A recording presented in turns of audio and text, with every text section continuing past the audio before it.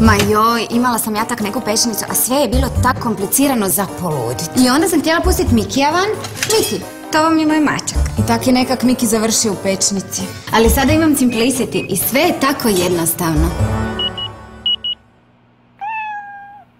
Miki? Miki? Miki? Miki?